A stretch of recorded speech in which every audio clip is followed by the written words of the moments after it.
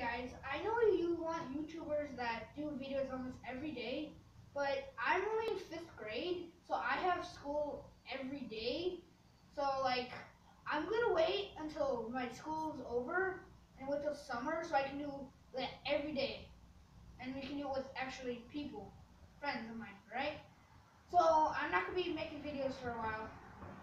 I'll try. I might do some on weekends,